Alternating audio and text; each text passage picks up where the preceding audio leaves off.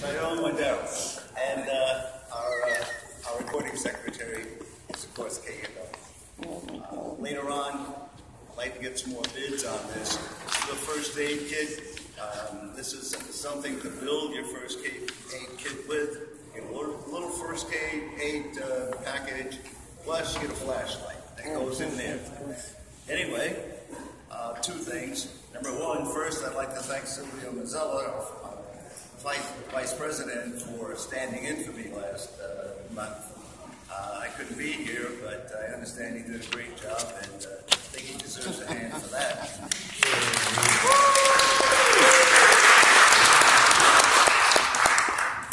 Second of all, I'd like to congratulate uh, the people of Eastchester, and unfortunately, we don't have that many here, but uh, perhaps the people from Eastchester that are here will spread the word that we really appreciate the efforts that they, they've been doing uh, with working with the police, with working with the community to reduce crime here in Eastchester Gardens.